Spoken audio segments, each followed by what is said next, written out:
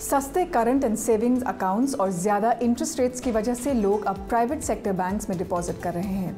इसकी वजह से पब्लिक सेक्टर बैंक्स के डिपॉजिट में कमी आ रही है।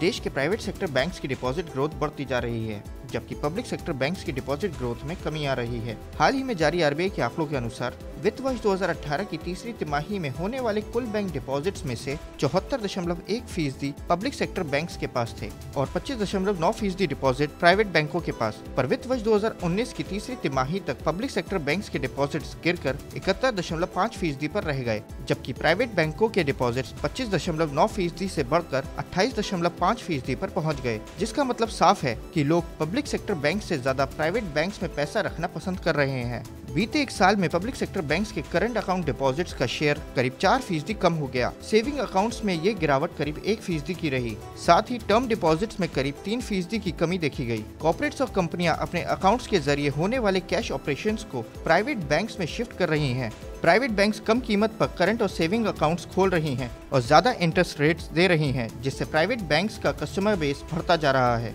उजर अली जाफरी गो न्यूज़